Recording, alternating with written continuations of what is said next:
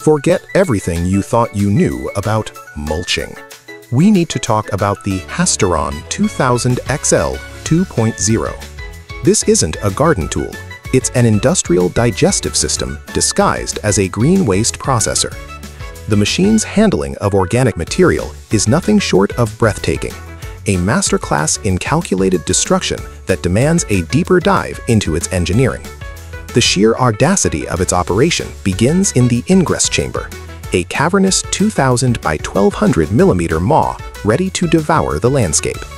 What happens next is a study in controlled chaos, driven by the heart of the beast, a 200 horsepower engine. This powerhouse doesn't just kick in, it orchestrates a symphony of calibrated force, channeling raw energy into rotational mastery. Behold, we are not observing a simple operational hiccup. We are witnessing a complete geotechnical failure, where a multi-ton forestry forwarder has entered a non-consensual, high-viscosity relationship with an alluvial plain. This is the tragicomic outcome when the coefficient of static friction decides to clock out early, abandoning its duties due to prolonged aggressive precipitation. The ground is no longer soil, it is a meticulously engineered trap, a non-Newtonian slurry optimized for swallowing industrial equipment whole. The stuck machine now operates less like a tractor and more like an extremely heavy anchor. Forget your grandpa's axe. We're talking industrial-grade digestion. Can you truly conceptualize the sheer, violent efficiency of 14 cubic meters of wood disappearing every 60 minutes? That's roughly 500 cubic feet of nature's stubbornness obliterated faster than you can brew a cup of specialty coffee. This level of revolutionary throughput isn't accidental. It's terrifying engineering we invite you to analyze the mechanics of effortless annihilation. The core secret lies not in brute force alone, but in proprietary metallurgy, a synchronized ballet of razor-sharp, hardened steel blades. These aren't just cutting implements, they are the thermodynamic nemesis of lumber. Small twigs, massive logs, they all meet the same destiny, total, instantaneous deconstruction. This profound efficiency demands rigorous analysis of safety protocols,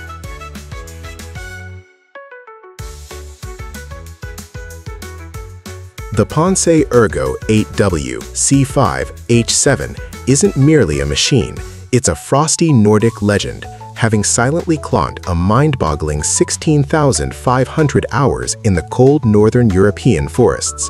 That's not a shift, that's practically a geological epoch for heavy machinery, begging the crucial analytical question, what secretive source of unrelenting durability fuels this logging marathon? Tucked beneath a robust battleship-grade steel shell is the answer, an MB engine meticulously calibrated to deliver 286 horsepower. This isn't generic power, it's the relentless, slightly intimidating force necessary to stare down and utterly dominate logs that frankly should require special permitting.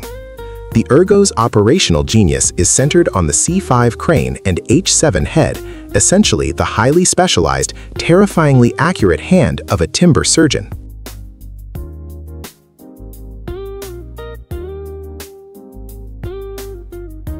Forget the dainty dance of warehouse pallet jacks, the recent demonstration of the Svetruck TMF 3222 was less a display of function and more a brutalist ballet starring the titans of logistics.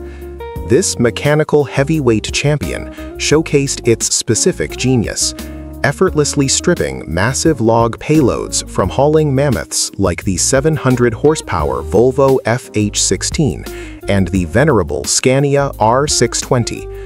This isn't just heavy machinery, it's an engineering paradox. How does a 90,000 kilogram operational behemoth, a machine weighty enough to discourage casual conversation, execute movements demanding surgical finesse, that's where the analytical marvel begins.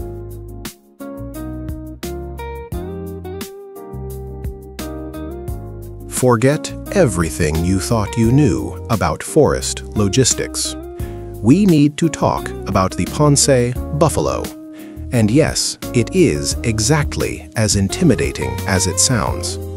This isn't merely a log forwarder. It's the undisputed heavyweight champion of advanced transport, engineered with a robust precision that screams overkill in the best possible way. Now, let's drill down into the sheer audacity of its specifications. At its mechanical heart lies a 7.7-liter engine pumping out 286 horsepower. The truly expert angle. It manages this relentless all-day thrash session while maintaining a fuel efficiency that frankly defies its immense mass. How does a machine this enormous manage to whisper sweet nothings to the fuel gauge? Forget everything you thought you knew about production timelines. We are analyzing the Bell Z 8000 series, a machine that clearly operates outside the known laws of reasonable human expectation. Its throughput is terrifying, four cords of premium hardwood per hour. That's not a typo. Analytically speaking, this single machine effortlessly matches the continuous, morale-crushing output of an entire squad of highly caffeinated laborers. What demonic pact provides this stable, relentless power? A meticulously engineered 127 HP CAT diesel engine. But the real mystery lies in the processing tandem. How does it chew through the tough stuff?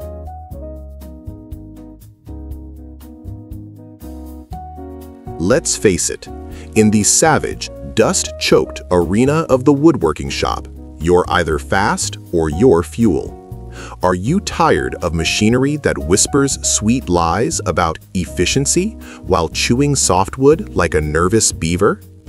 Enter the Mebor HTZ 1200 Plus, the undisputed, analytically perfect champion of rapid timber processing.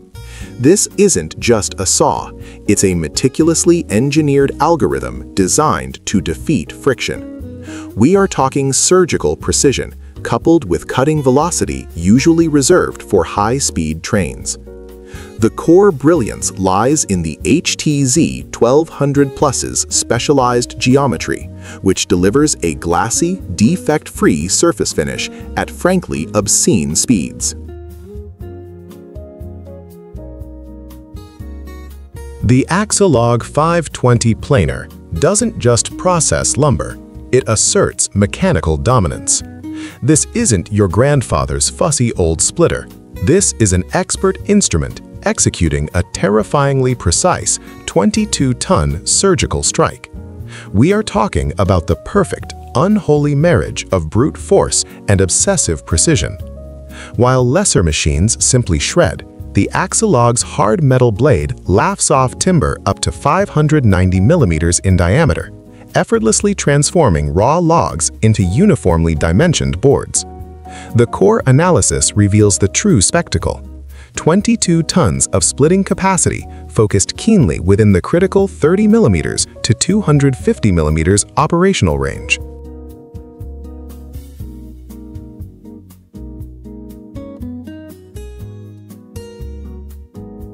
The Wood-Mizer LT70 isn't just a sawmill, it's a structural engineer with a serious caffeine addiction. When we talk about processing 95 centimeter diameter logs, we are discussing trees that frankly should have retired years ago. The LT70 handles these arboreal behemoths, proving its robustness isn't just marketing fluff, it's metallurgical destiny. But the real genius lies in the analytical precision embedded within its operating core. How does it manage maximum work speed and terrifying efficiency while maintaining world-class cuts? By expertly mating an optimally sharp, near-mythical saw blade with a high-power engine that laughs in the face of friction.